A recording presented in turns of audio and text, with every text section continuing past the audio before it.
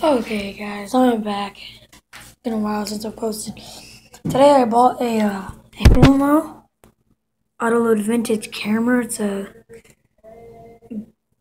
Bell and Howell company. Uh, it's 1950s vintage camera. Um, I'm gonna go ahead and load it up. So, what you do is you go right here on the side and you twist. Let me give you a little example.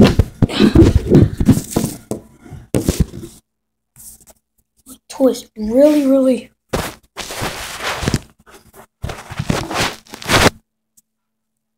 Can't really get the camera set. Oh, you just really hard to the right or left. Like this.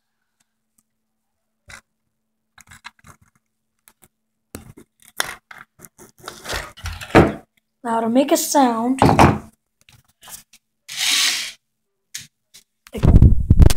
and to open the back to put the film in, you would actually um. There's a clip. There's two little clips, and you just pull those two together, and then come straight out.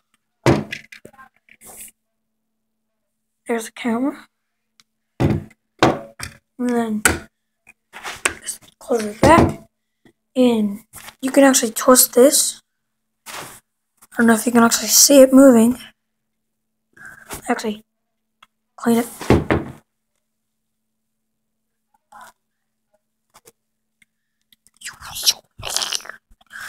I'm really amazed with this camera. How much quality it is. Show you up close with that.